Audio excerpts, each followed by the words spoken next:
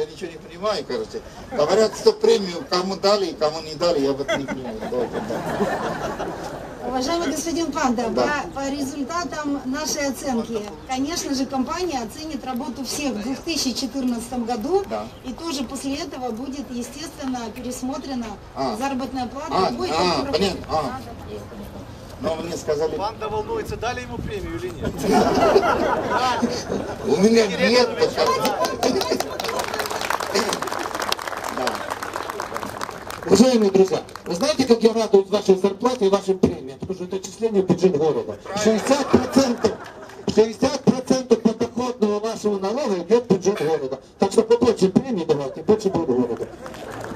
Короче, кому-то 63 человека, которые сами это сенец, да, но первого дня там одну зарплату премия. Вот мне, я сам этого не знал, но если так, то так, я не против. Спасибо, спасибо, господин.